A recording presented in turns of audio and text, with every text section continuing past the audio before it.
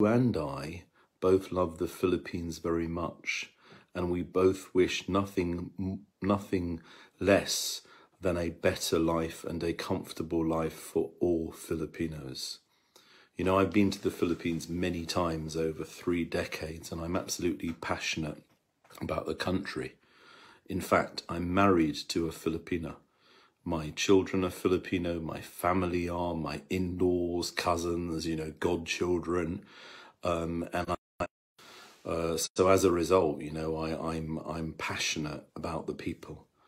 I also believe in standing up against racism and prejudice and uh, against any discrimination directed towards the Filipino people. But I've also developed an interest in politics and what I believe is the right direction to go into for the country. And this started when I went to the Philippines many years ago and I saw a lot of difficulties, you know, poverty, uh, and these things really, really upset me. So I believe, although I'm a foreigner, because I have a Filipino family, because I have Filipino wife, Filipino children, I do believe that I'm a stakeholder and I do believe I'm entitled to my personal opinion.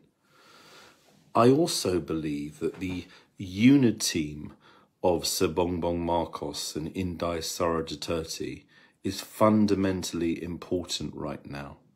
You know, I see myself as somebody who can bridge the gap and somebody who would reach out to both camps. In fact, earlier on today, I congratulated Vice President Leni Robredo on her um, new project, her new, um, is it Angat, Angat, Angat Buhay um, project where she's setting up an NGO to help people. This is what the country needs. You know, this country needs a united Philippines. The country needs people to get behind unity, not to bash, not to create division, not to create anger. And I have to say, sir, your video does all of these things. I have several issues with your video. Firstly, you've um, uh, masked or you've uh, um, covered up the identity of all of the netizens from both camps. You know, I, I respect that and I respect people are entitled to their privacy.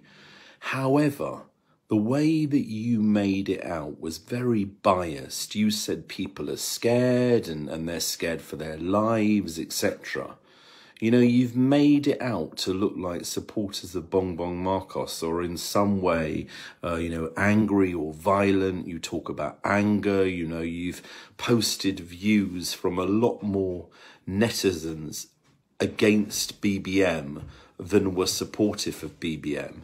If you are truly gonna, hi, if you are truly gonna make a, an impartial video, you should calculate how many people have said things against BBM or as how many how many people have been positive. Uh, and and and your video is very much biased, uh, and you know it's it's not good. You know, I I believe you need to be fair. Um, sorry for the disturbances, by the way. You know, I'm obviously at home with a family, and and and you know, but this is such an important video, so I will continue. Um, you know, the way I see it is this. You are clearly looking for clickbait. You are looking for Pinoy baiting. And also you seem to be agreeing with this narrative somehow that there has been some kind of uh, election fraud. You know, you showed a particular one incident and you're saying about it's a, a, partial count or something like that. You know, the fact is that 98% of the voters being counted. Not only that, um, you know, there have been many uh, uh, already looking at the actual integrity of the election. And what they found out is that from a sample, I think of 15%, there has been 100% accuracy as um, reported on ABS, CBN, and many other news channels. Also, please understand that the United States of America uh, China, the United Kingdom, and Canada have all commented that this is the will of the people and this was a democratic election process.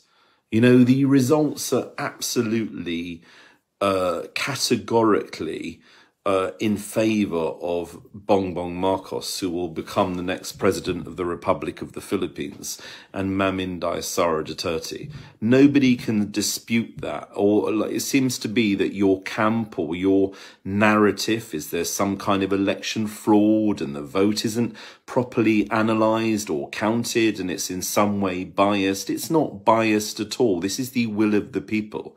If you look at every other election candidate, uh, Sir Manny Pacquiao, Sir Isko, um, you will see that all of them have, have conceded, even uh, Trillanes has, has, has conceded meaning to say they all uh, agree with the results. I'm not saying they, they are happy with the results, but what I'm saying is they all say we should respect the will of the Filipino people.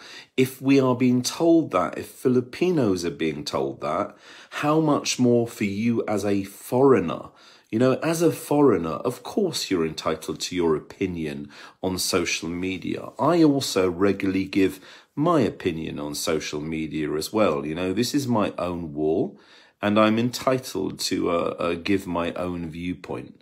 The major difference of me and you, sir, is that you will notice that I'm I could easily be monetized on Facebook. I'm fundamentally against it. I could very easily have these stars that you have. It's not a problem at all. I have a Facebook page. I, am I'm, I'm able to be monetized immediately. Uh, I've I've declined that, and the reason why I've declined that is because I fundamentally disagree from making money out of politics on Facebook. I think Facebook should be a platform for freedom of speech.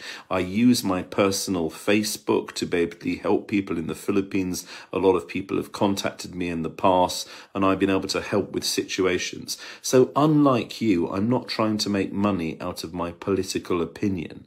The other thing is, you know, you, you, you seem to be saying towards the end of the video, but I'm sorry to say, or, I'd, or, or the, the impression that you give is that you are very much against the presidency of Sir Bongbong Marcos. Well, I have to say, 31 million Filipinos right now are against your narrative. 31 million Filipinos right now believe that you are, are in the wrong and that this is entirely biased.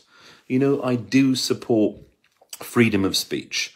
But when it's one sided, when you are clearly angry, you are clearly pushing a negative agenda, you are clearly inciting young people to get even angrier, you are clearly um, uh, causing division. And this is the thing that upsets me the most. You know, I do have respect for, for, for others and other people's opinions, and I do wish you the best, sir. And if you were to continue helping Filipinos uh, through um, uh, various uh, through through difficult situations and helping Filipinos maybe with feeding programs, then I commend you for that. Uh, I, I haven't watched you personally. I haven't followed your your page, so I don't know of all of your work. But I will say this before I end this video and then I'll read some of these comments. You know, uh, I, I believe the Filipino people, at least the 31 million Filipinos, uh, are, are entitled to an apology.